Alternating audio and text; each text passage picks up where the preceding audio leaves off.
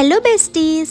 I had the opportunity to visit several places in Jagdalpur in a single day, each of which was fantastic. I will share my experience including how I planned my day and what was the budget. So without any further ado, let's get into this video.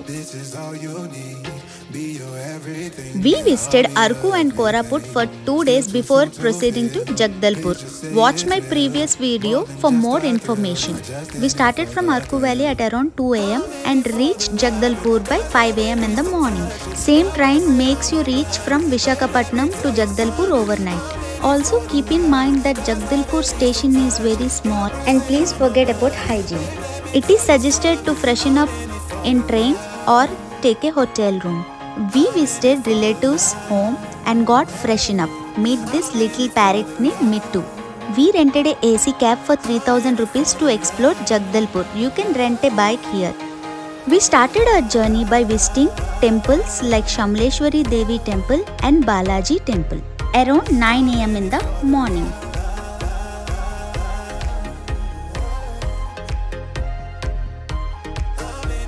After visiting temples, we started our journey to Bastar district to watch the waterfalls, which took around 1 hour drive to the location as it is located 45 kilometers away from Jagdalpur. We reached this location by 11 am. Entry ticket costed us just 40 rupees for all of us. This waterfall is falling and making a pool below.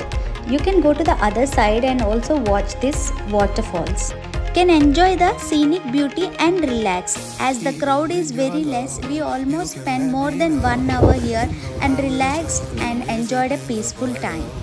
If you have a local guidance, you can also trek to the waterfalls and enjoy this view from the below. After spending good time at Tamargumar waterfalls, we headed to our next destination. It's Chitrakoot Waterfalls, Niagara Falls of India a land of breathtaking beauty and spirituality. It is the widest waterfalls of our country. Can you guys believe Chitrakoot flows and merges into Godavari and flows across Andhra? Boating options are available in these locations but not not in the monsoon season. There is a small spiritual history also associated to this place. Chitrakoot is called home for Shiva and Parvati caves are located at this place.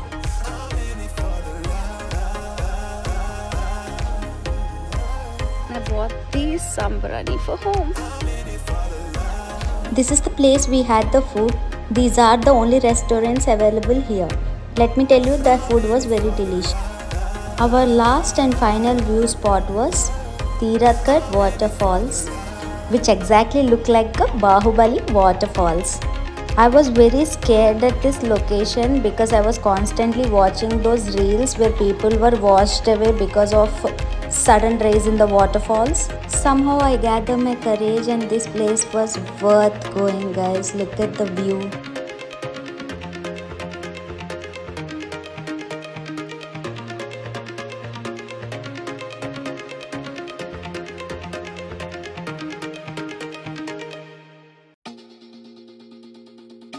Our train was at 6 o'clock so we reached train station by 5 pm.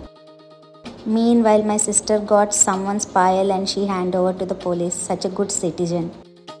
So, like, we are waiting after all the trip for the train, and it was like tip neck of the moment. We are waiting for the parcel. We don't know we'll get the parcel first or the train.